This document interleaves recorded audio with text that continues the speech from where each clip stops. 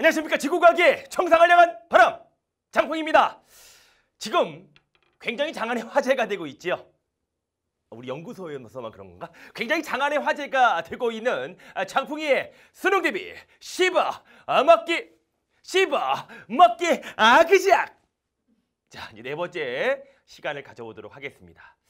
자 우리가 굉장히 많은 풍만이들이 어, 댓글을 달아주면서 굉장히 좋은 말들을 많이 해주고 있습니다. 아 장풍이가 거의 힘을 얻어서 조금 더 힘내면서 강의를 해보도록 하겠습니다. 뭐 긍정의 아이콘이라던가 그렇습니다. 우리 풍만 아이들은 어차피 그래 수험생활 힘들어요. 외롭습니다. 하지만 우리가 마음먹기 달린 것입니다. 조금 더 긍정적으로 그리고 우리는 계속 놀고 있어? 아니잖아. 공부하고 있잖아. 공부하면서 우리는 실력을 점점점 쌓아가고 있습니다. 그러니까 좀 더 긍정적으로 생각하면서 우리 풍마이들이 좀더 그날 11월 14일을 대비하여 최선의 노력을 다해 주시기 바랍니다.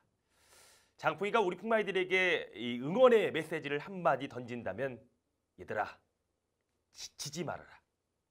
지치지 말고 조금만 더 조금만 더 최선을 다해다오 라는 말을 던지고 싶습니다. 자 이제 네 번째 수능 씹어먹기 시간인데요. 우리가 2000 어, 올해 올해 6월 이 모평에서 이 난이도가 그렇게 높진 않았지만 새로운 자료, 자주 출제가 되지 않았던 좀 신선한 자료가 출제가 되면서 오답률 2위, 무려 오답률이 이대로 72%를 차지했던 그 문제가 바로 지구의 열수지 단원이었습니다. 지구의 열수지 단원은 지금까지 문제와 이 6월 모평에서는 약간의 이 자료가 달라짐에 따라 우리 풍마이들이 조금 더 당황했을 것이고 그래서 더 많이 틀리지 않았나 싶습니다. 그래서 우리는 당연히 한 번 더 체크를 해봐야 되겠지요. 그래서 이번 시간 우리 지구의 열수지 한번 씹어먹기를 대비해 보도록 하겠습니다. 자, 지구 열수지를 알기 위해서는 우선 지구의 복사 평형도 알아야 되는데 지구의 복사 평형과 지구의 열수지에 대한 문제의 패턴 자 지금까지 어떠한 문제가 출제가 되었는지 그 문제의 패턴 유형을 살펴보도록 하겠습니다. 자 보시면 봐봐 복사평형 상태 지구의 열수지라고 해서 이거는 기체가 없을 때입니다. 이건 기체가 있을 때지요. 그래서 여기에는 숫자들을 파악해가지고 숫자들을 파악해서 얘들아 숫자를 우리 풍마들이 대입할 수 있어야 되는 문제들이 굉장히 많이 출제가 되었습니다. 여기 있는 숫자들을 파악할 때 가장 중요한 그 핵심은 바로 방출량과 흡수량은 같아야 된다는 것 이지요. 어디에서 우주에서든 대기에서든 지표면에서든 흡수량과 방출량은 똑같다라는 기본 개념, 즉 복사 평형이라는 것을 중점으로 이러한 문제가 출제가 되었습니다. 그리고 반사율이라는 것 그렇습니다. 뭐 대기에서 반사율 25, 지표에서 반사율 5라고 해서 30 정도가 반사율이었었지요. 이러한 문제가 출제가 되었고 이것도 마찬가지입니다. 전부 다 여기는 숫자를 대입하는 거 숫자. 지구 대기가 방출하는 에너지의 총량, 대기가 방출하는 에너지의 총량 뭐 이런 것들 그리고 가시광선 영역과 적외선 영역 그렇습니다. 우리는 이걸 꼭 기억해야 된다는 거야. 태양 복사 에너지는 에너지가 높습니다. 그래서 파장이 좀 더 짧은 가시광선 영역 단파 복사를 하고 그리고 지구는요 에너지가 좀 온도가 낮지요. 그러다 보니까 적외선 영역에 장파 복사를 한다는 것 우리가 수업 시간에 다 배웠던 것입니다. 지존력 시간에 배웠던 거예요. 단파 복사, 장파 복사 기억이 나니? 그러면 또 어떤 문제? 이거 봐봐. 자 이것은 얘들아 수능 문제였습니다. A 플러스 E는 DEF다. 여기 있는 A, B, C, D, E를 가지고 여기에 있는 흡수량과 방출량이 같다라는 식으로 요렇게 유도하는 것 이런 위에 있는 자료를 요렇게 식으로 유도할 수 있느냐 또는 적외선 영역에서 대기가 흡수하는 에너지 양 적외선이냐 가시광선이냐 자 문제의 패턴을 잘 파악해 주시기 바랍니다. 자 또한 지구의 수지 전부 다 이런 이런 이런 모양 아니겠어 그지? 그래서 A가 얼마냐 이거야. 반사율, 흡수율 그래서 이 지구의 열수지 문제는요. 딱 다섯 문제만 풀어보면 여기는 숫자 다 외워버린다고. 이해돼? 숫자 외우면 훨씬 더 편해요. 우리는 이 씹어먹기 강의를 지금 왜 보고 있습니까? 문제를 좀 더 빠르고 정확하게 풀어내기 위해서지. 그지? 그래서 우리는 전체 파트의 시간을 좀 더 벌어놓고 만점을 대비해보자는 것입니다. 맞니? 그렇기 때문에 여기 있는 숫자 같은 거에 대해 외우면 좋아. 그러면 적외선 복사냐? 뭐 여기 있는 잠열과 수문열이 있었죠. 그리고 여기서 방출될 때 복사의 형태가 아니라 전도와 대류 형태라는 것 기억나니? 이러한 문제가 출제가 되고요. 또한 지표가 방출하는 복사 에너지량과 같다. 이거 보세요. 적외선 영역의 에너지량, 가시광선 영역의 에너지량. 적외선은 장파, 가시광선은 단파. 이해돼? 자, 그리고 지표에 이것이 바로 6월 모평에 나왔던 12번 문제입니다. 요 가해 자료를 잘 봐주시기 바랍니다. 이 가해 자료는 수능 기출로 자주 출제가 되지 않았던 자료임에도 불구하고 6월 모평에 나왔습니다. 그런데 이것이 얘들아 생뚱맞게 나온 것이 아니라 EBS 수능 특강에 나와 있는 자료들이지요. 그리고 지존여기도 우리가 이거 공부했던 거야. 근데 지금까지의 기출에서 잘 보이지 않았던 자료가 나옴으로 해서 다시 한번 우리가 이 부분을 살피고 넘어가야 된다는 것이죠. 되니? 그리고 여기 있는 자료들, 여기 나에 있는 자료는 우리가 많이 봤던 자료입니다. 그래서 지표에 흡수되는 태양 복사 에너지, 자외선 영역과 적외선 영역. 여기서 봤더니 자외선 영역이라는 것이 나오네. 자외선. 자외선은 누가 흡수해? 성층권에 있는 오존층에서 흡수합니다. 다시 말하면 대기가 흡수한다는 거야. 만일 대기가 흡수하는 영역이지요. 또한 지금까지 몇 몇 번 문제가 출제가 됐냐면 2016학년도 6월 평가원 13번부터 16, 16, 18, 19 그리고 바로 6월 모평에서 오답률이 높았던 부분의 영역으로 2020학년도 수능에도 출제가 될 수 있다라는 것입니다. 됩니까? 자 그렇다면 우리는 원론적으로 다시 지구의 열수지와 지구 복사 평형에 대한 얘기를 다시 한번 언급을 해보고 EBS 수능 특강과 수능 완성 문제를 풀어보면서 한 번 더 정리를 해보도록 하겠습니다. 자 그렇다면 자 지구 복사 에너지에서 보면 이 자료가 나왔다는 것이죠. 태양 복사 에너지 그렇습니다. 요 파장별 복사 에너지의 세기를 나타내는 이런 문제가 나왔습니다. 이런 자료가 나왔는데 자 자세히 봅시다.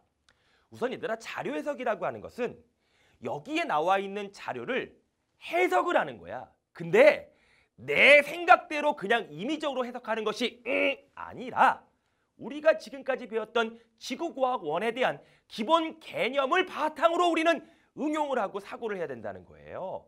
자, 그럼 봅시다. 대기 바깥에서의 태양 복사 에너지고 지표면에서의 태양 복사 에너지야. 그러면 요만큼의 요 요 요 차이, 요 차이가 바로 뭐야? 대기 바깥에서의 태양 복사 에너지량과 지표면의 태양 복사 에너지량 다시 말하면 여기 뭐니? 대기에서 반사된 양이야 반사 태양 복사 에너지가 반사된 양이라는 것이죠 됩니까? 그리고 요만큼의 얘들아 적외선 부분에서 흡수되는 양이야 적외선 자 태양 복사 에너지 중에서 얘들아 적외선은 누가 잘 흡수해? 대기에 있는 이산화탄소 온실기체, 수증기, 메테인 등등의 온실기체가 흡수되는 양들입니다 만약 자요 뒤에 있는 지구 복사 에너지 흡수량을 볼게요. 대기의 창이라는 게 뭐야? 대기의 창. 이 대기의 창이라고 하는 의미는요. 대기에서 흡수되지 않고 지구 복사 에너지 중에서 지구 복사 에너지 중에서 대기에 흡수되지 않고 그대로 우주로 방출되는 양을 우리는 바로 대기의 창이라고 하는 거야. 만약 요만큼의 영역이 적외선 영역 중에서도 요만큼이더라. 되네. 대기의 창으로 방출된다는 것입니다. 우주의 우주로. 이해됩니까? 그래서 이러한 그래프들을 이따가 다시 한번 그림 보고 정리를 해보도록 할게요. 오케이. 이런 기본 개념을 알아야 되겠고 또한 우리 품 아이들이 기본적으로 알아야 될 것 그렇습니다. 자 파장별 분포예요. 태양 복사 에너지의 파장별 분포. 태양 복사 에너지는 주로 단파 복사라고 해서 가시광선 영역입니다. 가시광선. 그런데 파장을 자세히 보시면 X선이 어떻게 가장 감마선이 파장이 짧지요. 감마선 X선 그리고 파장이 긴 건 얘들아 전파입니다. 그리고 요 사이에 가시광선 영역이며 자가적 자가적 자 자가적 기억해 주셔야 되겠죠. 그죠? 감마선 X선 그리고 자가적 그리고 전파입니다. 되니? 자가적. 그래서 전파는 파장이 길다라는 거야. 맞아? 맞니? 요 파장별 태양 복사 에너지도 분포를 알아두셔야 합니다. 자, 그리고 지구의 열수지 핵심이 바로 무엇입니까? 이거지요. 봅시다. 자, 지구의 열수지를 정리하기 전에 우리 풍마이들 자, 큰 소리로 따라합시다. 우주건, 대기건, 지표면이건 받은 만큼 돌려준다. 다시 시작. 받은 만큼 돌려준다. 흡수량과 방출량은 똑같아요. 어떠한 곳에서든지 숫자는 다를 수 있지만 받은 양과 방출량과 흡수량은 똑같다라는 것이죠. 여기서 여기서 인생을 배우는 거야. 그렇지 않냐? 어? 야 받기만 해봐. 탈이 나요? 주기만 해봐. 아우 아니야. 주는 건 괜찮아. 그렇지 않아? 어. 어 선생님은 진짜 나 장풍이는 우리 풍마애들이 막 주고 싶은데 막 내 머리 내 뇌도 가져가 막 다 가져가 어 아, 누 누나는 안돼 누나는 좀 이, 이분 안돼 이분 내가 먹고 살아야 돼 그지 다 가져가 열수지는 받은 만큼 돌려준다는 것입니다 보세요 자 태양이 100을 줍니다 그러면 대기에 흡수, 흡수되는 양은 25고 지표면에서 흡수되는 양은 45입니다 지표에서 반사되는 양은 5고요 그리고 요 대기와 구름 반사량은 얘들아 25입니다. 다시 말하면 태양 복사 에너지량의 반사율은 얼마야? 30이란 말이야. 그래서 막 이런 거 있잖아. 여기에서 문제가 나올 때 이런 것이 나오지요. 예를 들어서 뭐 이산화탄소의 농도가 높아진다면 빙하의 면적이 감소됩니다. 지구 온난화에 의해서 빙하의 면적이 감소된다는 것은 여기에 있는 지표면의 반사량, 여기에 있는 반사량이 늘어난다는 거야, 줄어든다는 거야. 줄어든다는 얘기지. 이해되니? 줄어든다는 얘기예요.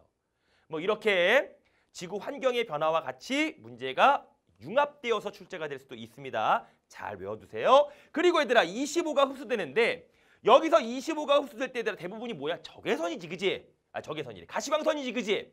왜? 태양 복사 에너지니까 얘들아 가시광선이라고.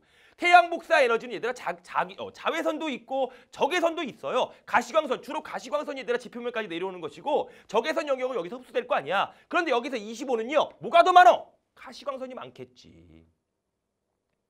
또한 지구 복사 에너지 보겠습니다. 봅니다.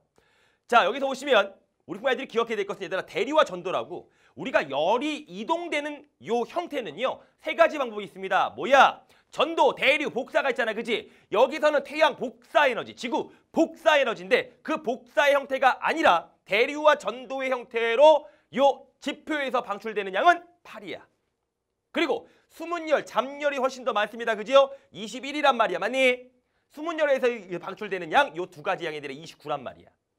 그러면 대기에 흡수되는 양 25에다가 29에다가 되니 그리고 지표면에서 복사량인데 100이 흡수가 돼요. 그러면 얼마가 돼? 154가 된다고 154. 맞아? 자 대기의 창으로 아까 말했듯이 대기에서 흡수되지 않고 곧바로 직진 우주로 방출 빵 4예요. 그러면 154는 얘들아 대기에 흡수됐으니까 154가 대기에 흡수됐으므로 방출을 합니다. 얼마가 방출해? 88 더하기 66. 얼마야? 154. 받은 만큼 돌려주는 거죠. 요것 때문에 뭐가 나타나는 거야? 온실 효과가 나타나는 거야. 여기는 대기가 흡수했다가 재복사합니다. 네? 흡수했다가 재복사하니까 이것 때문에 온실 효과가 나타나는 거지. 맞니? 숫자를 외워버려. 66, 88, 4, 100 그리고 21, 8, 25 이거 얘들아 문제 다섯 번 풀면 문제 무조건 숫자가 나와요. 되겠니? 그러니까 숫자를 외우면 좀 더 문제를 빨리 풀 수가 있다는 거야. 알겠어? 우리는 이제 얘들아 우리 옛날에 요즘은 그런 얘기 안 하는데 이런 것들 시험 전날이라던가 뭐 시험 다가오면 야 아, 벼락치기 해야 돼. 이 벼락치기라는 말은 뭔지 알지? 또 있다? 야 나 초치기 초치기 초치기 빨리 1초가 아깝다 이거야. 빨리 초치기. 우리 얘들아 문제 풀 때 얘들아 초치기 들어가야 돼요. 맞니? 어. 그러다가 얘들아 괜히 초치지 말고. 자 그렇다면 이제 문제를 보자. 이거 2018학년도 수능 18번 문제예요. 자 지구 열수지에 관한 문제입니다. 왠지 이거 막 하면 얘들아 숫자 막 쓰고 싶지 않아? 그치 그럼 이건 66, 88, 뭐 4에다가 100, 104, 100이고 근데 여기서 얘들아 보면 여기 어 이게 없어졌어. 그치 대류와 전도에 의한 것과 되니 여기 수문열에 의한 것 그게 전부 다 여기 더해진 거야. 그러면 우리가 한번 식을 만들어 봅시다. 우선은 얘는 얘들아 얼마냐면 이거 100이니까 여기서 26, 30이니까 얘들아 이게 25, 이게 45예요 사실은. 어 45입니다. 그죠? 근데 얘들아 여기서 숫자가 중요한 것보다는 이렇게 식으로 만드는 거야. 식으로 만들어 보자 이거야. 첫 번째. 봅시다. 우선 우선 여기에 있는 대기가 흡수되는 양 A 플러스 C는요. 대기 흡수되는 양과 맞습니까? 그리고 방출되는 양 뭐가 똑같아? F 플러스 G랑 똑같아요. 아니 그리고 여기는 지표 방출량 2는요. C 플러스 D가 됩니다. 맞아. 근데 여기 미지수가 얘들아 A, E, D, E, F, D, F, G예요. A, E, D, F, G. 어머나 C를 그럼 없애라는 얘기네. 그러면 C는 어떻게 돼? E 마이너스 D죠? 여기다 들어가. 그러면 A는 들어가니까 여기 A 플러스 E는 넘어가. D 플러스 F 플러스 G가 됩니다. 돼? 돼? 그러면 기억 맞잖아. 자, D라고 하는 것은요. 지표에서 우주로 직접 방출되는 에너지량. 그렇습니다. 이걸 우리가 뭐라고 한다고요? 지표에서 대기 흡수되지 않고 우주로 곧바로 방출하는 것 뭐야? 대기의 장. 맞아? 적외선 영역에서 대기가 흡수하는 에너지량은 방출하는 에너지량과 똑같다. 적외선 영역에서 대기가 흡수하는 양은 방출하는 양과 똑같습니까? 아닙니다. 여기서 얘들아 뭐가 흡수된다고? 가시광선 영역에서 대부분 흡수가 된다라고 했었지? 그러니까 흡수되는 양과 대기 방출하는 양은 같지가 않아요. 얘 때문에. 맞니? 이러한 디귿과 같은 보기 어려울 수 있습니다. 연습하면 돼. 될까요? 한번 더 해보자. 자, 이 문제는요. 2019학년도 수능 16번 문제입니다. 자, 지표 흡수량 볼게요. 자, 봅시다. A 보겠습니다. 지표 흡수량 얼마입니까? 45죠. 자, 대류전도 수문열 29입니다. 대류전도는 8이었고 수문열은 21이었지. 그지? 원래는 이게 8이고 이게 21이란 말이야. 그럼 여기다 오늘 104였죠. 104. 숫자 봐봐야 돼. 숫자 딱딱딱 나온다니까. 얼마였어? 88. 숫자 외우면 바로바로 나온다니까 문제가 빨리 풀려. 알겠니? 그러면 A와 B를 보겠습니다. A와 B는 당연히 B가 더 크죠? 맞아요. A 플러스 B는요. 지표가 방출하는 복사 에너지량과 똑같습니까? 아니요. 지표 방출하는 예- 양에다가 얘를 더해야지. 그지? 그지? 아니지? 자, 그 다음에 기억과 니은을 보겠습니다. 얘는 지표가 흡수하는 양이고요. 이거 지표가 흡수하는 양인데 자, 얘는 태양 복사 에너지이기 때문에 누가 더 많어? 가시광선 영역보다 적외선 영역이 훨씬 더 많아요. 그지? 가시광선 영역이 훨씬 더 많아. 얘는 지표에서 흡수되는 양입니다. 그런데 여기 대기에서 어떻게 재복사를 하는 것이기 때문에 가시광선과 적외선 중에 누가 더 많어? 적외선이 더 많아요. 그러면 얘는 분모값이 크고 얘는 분자값이 크단 말이야. 누가 커? 기억이 니은보다 크지. 맞아. 답은 1번이야. 몇 분 걸렸어? 한 문제를 1분 안에 문제를 풀어줘야 돼요. 맞니? 그러니까 장풍이는 너희들이 맨날 그래요. 아, 못하는 단원만 생각하고 반성하고 하지 말고 잘하는 단원도 좀 생각해 주세요. 잘하는 단원. 너희들이 잘하는 단원이 뭐야? 음, 생명 가능지대? 막 이런 거 있잖아. 왜? 1단원이니까 매일 단원 맨 앞이니까 얘들아 음. 수학도 보면 막 이런 거 맨 앞 단원이 제일 잘하고 막 이런 거. 아, 영어 단원에 A를 모르는 단어가 없어. Z로 갈수록 얘들아 지, 주밖에 주하고 지브라. 그지? 이런 거 똑같은 거야. 잘하는 걸 생각해 줘. 잘하는 거. 알겠지? 잘하는 거. 너희들 잘하는 잘하잖아. 잘할 수 있어요. 응. 그럼 힘내. 힘내. 자, 지금부터 이제 아, 수능 특강과 수능 완성에 대한 문제를 한 번씩 풀어보도록 할게요. 지구 열수지에 관한 거. 자, 우리 핑만이들 어, 이 EBS 연계 교재는 무조건 풀어봐야 됩니다. 왜? 여기에 나온 자료가 아니라 그대로 나오잖아, 그지? 연계율이 70%이기 때문에, 그지? 70% 이상이기 때문에 우리 핑만이들이 이거 꼭 봐줘야 돼요. 자, 이렇게 씹어먹기 아주 짧은 강의로서 우리 핑만이들이 한 문제 한 문제 풀어보면서 조금은 더 감을 잡아야 됩니다. 아시겠죠? 어. 그리고 절대로 우리 핑만이들 꼭 부탁드리는 건데 따라하는 공부하면 안 돼. 알겠니? 사람마다 생각이 다 다르고 사람마다 얼굴이 다 달라요. 사람마다 공부 방법이 다 다르단 말이야. 알겠니? 기본 개념이 안 돼 있는데 문제풀이 같은 거 따라 따라하면서 하지 말란 말이야. 기본 개념을 완벽하게 해 놔야지만 우리가 문제풀이 할 때 효율성이 더 커지는 거야. 기본 개념도 얘들아 머릿속이 복잡한데 문제를 풀어야 된다? 완전히 얘들아 비빔밥 되는 거야. 비빔밥. 알겠니? 지구과학 비빔밥 만들지 말고 꼭 기본 개념부터 잘 잡아주세요. 아시겠습니까? 자 그리고 EBS 연계 교재 꼭 좀 문제를 풀어봐야 되는데 자 우선 얘들아 2점 테스트부터 해서 얘들아 쭉 문제를 풀어내겠습니다. 수능 특강과 수능 완성 교재를 준비해 주세요. 자 수능 특강 143페이지에 2점 아, 2점 7번 8번부터 문제를 푸는데 아 이거 얘들아 2점짜리지만 문제가 어려워요. 되니? 문제가 그렇게 쉽진 않습니다. 보자. 자, 그림의 유도에 따른 태양 복사 에너지량, 흡수량과 지구 복사 에너지의 방출량입니다. 자, 우리가 굉장히 많이 나왔던 보기지요. 위에 있는 뭐 A라는 면적과 B라는 면적이 똑같다라는 거, 그죠? 어, 우선 기억부터 볼게요. 위도별 에너지의 출입은 모든 위도에서 균형을 이룹니까? 이거 얘들아 속아 넘어가면 안 된다고. 자, 기억 보기 꼭 확인해 주세요. 우리 아니라 이거 잘못된 거야. 기억 보기 잘못된 겁니다. 왜냐하면 괜히 복사 평형이라고 하는 것이 얘들아 머릿속에 편견이 확 잡혀버리면 위도별 에너지의 출입은 모든 위도에서 균형을 이룹니까? 아니요. 모두 다 불균형이에요. 여러분들이 봤을 때 얘들아 요 위도 38도 부분 있지? 위도 38도 부분만 얘들아 방출량과 흡수량이 똑같아요. 즉 태양 복사 에너지량과 지구 복사 에너지량이 똑같아. 얘만 똑같아. 그 외에는 전부 다 뭐야? 불균형이라고. 그러니까 그냥 복사 평형이라고 하니까 그냥 기억은 그냥 맞, 맞다고 생각하는 풍마이들이 있습니다. 어? 반성해야 돼. 그지? 자, 니은. 굉장히 많이 나왔던 보기죠. A 면적과 B 면적이 똑같다. 맞죠? 니은은 맞아요. 좋아요. 자, 디귿 볼게요.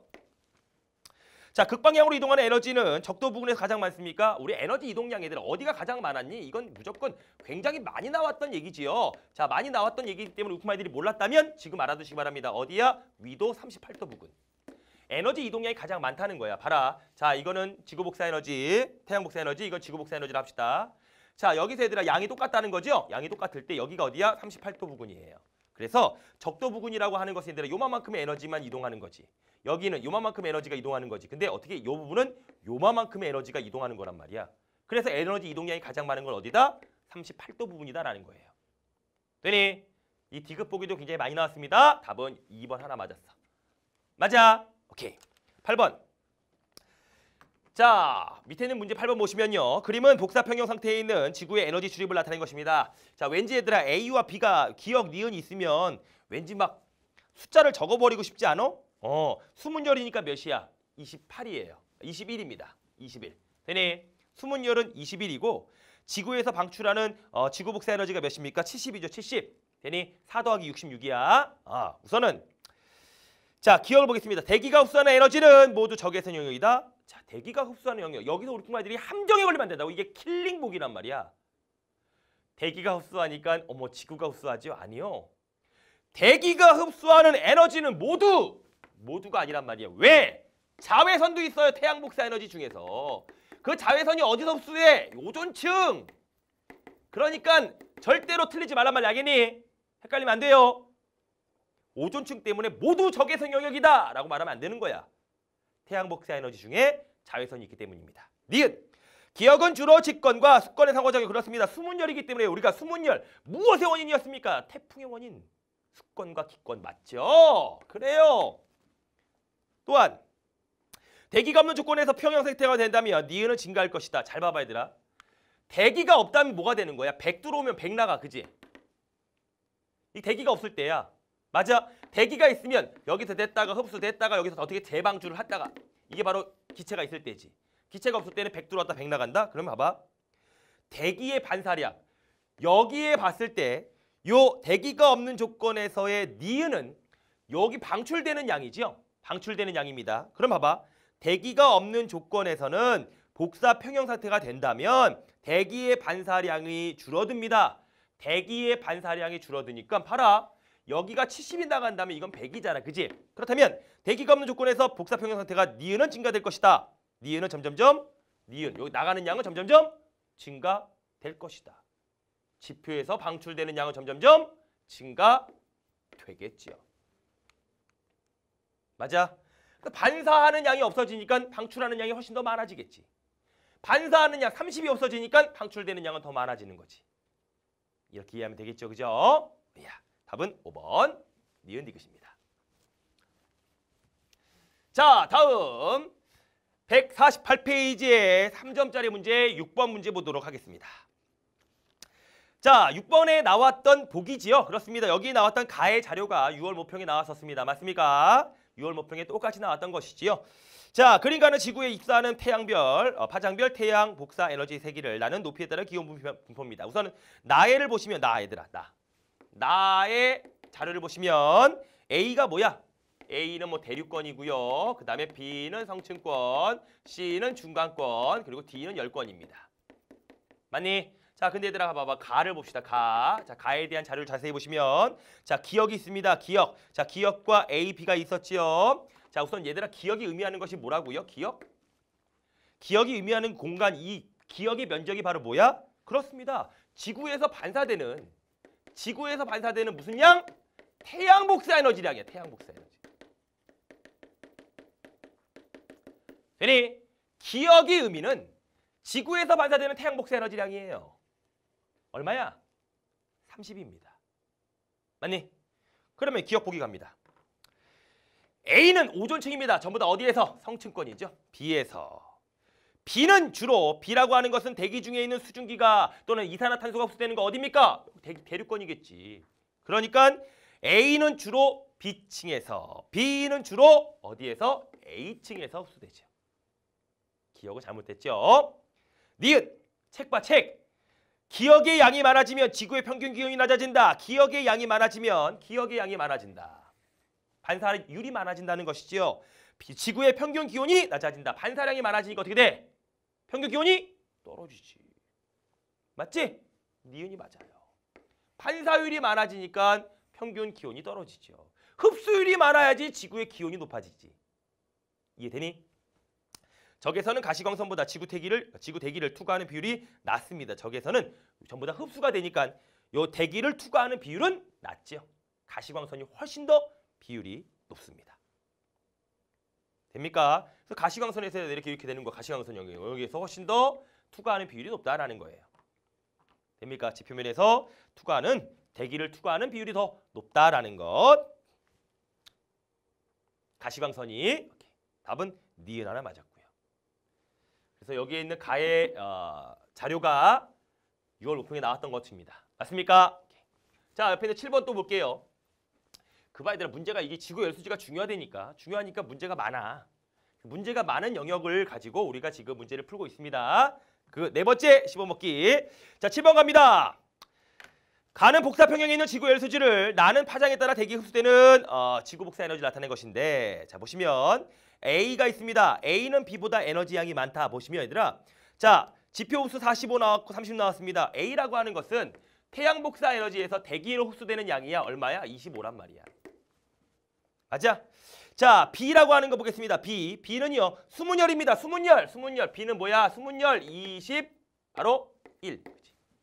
수문열 21. 맞니? 자, C는 얼마입니까? C는 얘들아. C는 대기의 창입니다. 얼마야? 4. 자, D는 얼마입니까? D는 66. 맞아? 그러면 A는 B보다 그렇다니까. 숫자만 얘들아 이거 다 외우면 그 문제가 얼마나 금방 풀리겠니? 그지? 그러면 기억은 뭐야? 맞아요. A는 B보다 에너지량이 많습니다. 좋아요. C는 주로 C는 주로 C는 주로 요 A 파장 영역을 통해서 A 파장 영역 그렇습니다. C는 지구 대기 흡수율이 적은 거지요. 그러니까 나에서 봤을 때 흡수율이 적은 거 어디야? A 영역이 맞습니다. A 영역에서 통해 방출이 되고 지구의 반사율이 일정할 때 대기 중에 이산화탄소가 많아집니다. 이산화탄소가 점점점 많아지면서 복사 평형 상태가 된다면 여기에 있는 C와 D의 값은 증가할 것이다. 자, 우리가 봐봐 얘들아. 태양 복사 에너지가 요 이산화탄소가 많아졌습니다. 이산화탄소가 많아지면 어차피 태양 복사 에너지량은 얘들아 100을 줍니다. 반사율과 지표면 흡수율, 태양 복사 에너지량의 수가 변하겠지. 여기에 있는 C와 D의 값은 어떻다? 복사 평형이기 때문에 요 값은 변하지 않는다라는 것이죠. 되니 디귿 보기 꼭 기억해 주세요. 디귿 보기. 알겠습니까? 디귿 보기 꼭 기억해 주세요. 되니 그래서 답은 기억 니은이 됩니다. 정리돼. 자, 8번은요. 이 지구의 복사 평형에 관한 실험 탐구 활동의 문제입니다. 탐구 활동 문제야. 보면 자, 실험 시작 후 6분이 될 때까지 컵에서 방출하는 에너지는 시간에 따라 증가됩니까? 그렇습니다. 6분이 될 때까지 온도가 계속 증가돼요. 28.7로 31.0 계속 증가됩니다. 자, 실험 시작 후 컵 속의 온도가 일정하게 유지되면 더 이상 컵의 에너지가 흡수되지 않습니까? 아니요. 니은 보기 꼭 기억해 주세요. 흡수되지 않는 것이 아니라 흡수량과 방출량이 똑같아지는 거죠. 맞니? 니은은 흡수하지 않는 것이 아니라 흡수량이 있습니다. 방출량과 똑같은 거야. 맞아. 다음 디귿. 흰색 알루미늄 컵으로 가부터 다 과정을 반복한다면 31도보다 더 낮을 것이다. 그렇지요. 왜? 흰색은 뭐가 높은 거야? 자, 디귿 보기 기억해 주세요. 흰색은 뭐가 높아? 반사율이 높아. 그러니까 흡수율이 더 낮아지지. 흡수율이 낮아지니까 31도보다는 온도가 더 낮아지겠지요. 이 됩니까? 답은 그래서 기억 디귿이 되는 거고. 알겠니? 그래서 흰색 반사율이 높다라는 것. 정리됩니까? 자, 다음 이제 수능 완성 문제 73페이지 닮은꼴 문제부터 보도록 합니다. 자, 수능 완성 교재 펴 주시고요. 가자. 그림은 복사평형 상태에 있는 지구의 열수지를 나타낸 것입니다. 자, A와 B가 나와 있습니다. 그죠? 자, A는 얼마라고요? A. A는 그래 태양 복사 에너지 중에서 대기 흡수되는 양 25. 25. 다음 B입니다. 자, B는요. 지표 방출량입니다. 얼마였어? 100. 그래서 대기 흡수되는 양 100. C는 얼마입니까? 대기의 창 4. 4. 됩니까? 그럼 A는 B보다 작아요. 맞죠? 기억 맞고. 자, 니은은 주로 자, 니은. 니은은 무엇입니까? 대류와 전도입니다. 자, 기억 아, 기억. 기억은 주로 온실기체에서 일어난다. 그렇습니다. 온실기체에서 적외선이 흡수가 되는 거죠. 대기가 흡수되는 것입니다. 맞아요. 온실기체. 자, 디귿. 니은 중에서 니은 중에서 대류에 의한 이동량이 많다. 자, 보시면 얘들아. 우리가 대류의 대류 전도 수문열입니다. 대류 전도인데 대류에 의한 이동량이 가장 많다? 아닙니다. 우리 자, 요 대류 전도 수문열이 29지. 대류 전도에 의한 것은 8이에요. 수문열에 의한 것은 21입니다. 누가 더 많어? 얘가 더 많아. 그지? 답은 기억 니은 3번이고요. 자, 문제를 우리가 풀다 보니까 여기 있는 숫자 외우면 좋을까 나쁠까? 느낌 오니? 느낌 왔니? 좀 더 문제를 쉽게 풀 수 있는 느낌이 오니? 그렇습니다. 외우면 돼. 자, 또 보자. 75페이지 7번. 그림은 복사 평형에 있는 지구 열수지를 나타낸 거예요. 자, 봅시다. 지표 반사, 대기 반사가 있습니다. 지구의 반사율은 30%, 5와 25니까 맞죠? 반사율은 30% 맞습니다. 자, 니은 보면 대기 중 이산화탄소의 양이 증가되면 대기의 재복사량도 그렇습니다. 이산화탄소 양이 증가되면 흡수량도 많아집니다. 그래서 재복사량도 증가되겠죠. 좋아요. 자, A는 A는 대기의 창 영역을 통해서 아이 그래 이거 쉬운 문제였네. 기억 니은 디귿 다 맞죠, 그죠? 뭐 이런 문제는 한 15초 정도면 문제를 풀어줘야 됩니다. 8번 갈게요. 원래 이제 문제를 얘들아 좀 자세히 문제를 풀어줘야 되는데 어, 이렇게 빨리빨리밖에 진행이 할 수밖에 없는 것에 대해서 진짜 진짜 미안해. 미안하고 우리 부모님들이 꼭 자기 스스로 문제를 다시 풀어봐야 됩니다. 아시겠죠? 그리고 잘 모르는 거 있으면 언제든지 게시판에 글 올려주시고 자 8번 대기가 없을 때를 가정한 복사 평형 상태고요. 그리고 나는 현재 지구입니다. 자 가에서 지표면이 방출하는 에너지 파장되는 주로 적외선이다. 지표이 똑같지요? 똑같습니다. 뭐 대기가 있건 없건 가에서 지표면이 방출하는 에너지의 파장 형태는 적외선이 맞지요. 자, 니은. 나에서 지표면의 에너지 흡수량이 방출량보다 큽니까? 이런 거 실수하면 안 되지. 에너지 흡수량과 방출량은 같습니다. 지구의 평균 온도는 나가 다보다 나가 가보다 높죠. 그렇습니다. 온실 효과를 통해서 평균 온도는 대기가 있을 때가 훨씬 더 높습니다. 우리가 수성과 지구처럼 수성은 대기가 없으니까 연, 연교차, 일교차가 굉장히 크죠. 근데 얘네들은 보온 효과, 온실 효과가 있기 때문에 어, 표면 온도가 훨씬 더 높습니다. 왜? 지표에 의한 재복사가 있기 때문이지요. 맞니? 답은 기억 디귿이고요. 다음 76페이지 10번. 자, 복사평형 상태에 있는 지구 열수지입니다. 자, A, B, C. 자, 정해 볼까요? 구해 보자 이제. 구해 보자. 자, A 한번 해 보자. A. A가 얼마야? 자, 25입니다. 그러니까 A. 자, A는 몇이야? A는 5가 되겠지. 그지? 반사율이니까 30이니까 5. 자, B는 얼마입니까? 66과 88. 그렇지. B는 88. 맞니? B는 88. 자, C는 얼마입니까? C는 대기의 창 4. 이제 외웠다. 대기의 창은 얼마야? 4. 되니? 4. 그럼 A는 5입니다. B, C는 4예요. 맞아요. 기억 맞고. 자, 니은 극지방의 면적이 감소하면 A가 감소합니까? 그렇지. A는 뭐야? 지표 반사인데 빙하의 면적이 감소되면 지표 반사는 어떻게 됩니까? 감소하겠죠. 니은도 맞아요. 디귿. 대기 중 이산화탄소량이 증가되면 비가 증가됩니까? 그렇습니다. 대기 중에 이산화탄소량이 증가되면 온실기체가 많아지는 거야. 적외선을 더 많이 흡수하지요. 더 많이 흡수하니까 어떻게 재복사가 많아지겠지. 맞는 거야. 이거 기억해 주세요. 디귿 보기. 네, 디귿 보기. 답은 5번입니다. 정리될까? 오케이. 자, 이렇게 해서 우리가 오늘 지구의 열수지에 관한 내용들을 정리해 보았습니다. 우리 풍만이들 이 씹어먹기 강의는요. 우리 풍만이들이 좀 더 문제를 빨리 풀기 위한 노하우로 한 번 더 중요한 내용을 정리하는 데 큰 의미가 있습니다. 그러니까 우리 풍만이들이 빠른 배속으로 들려도 돼. 빠른 배속. 근데 꼭 중요한 것은 이렇게 듣고 끝내는 것이 아니라 한 번 더 문제를 풀어보면서 복습의 시간을 가져주셔야 된다는 거예요.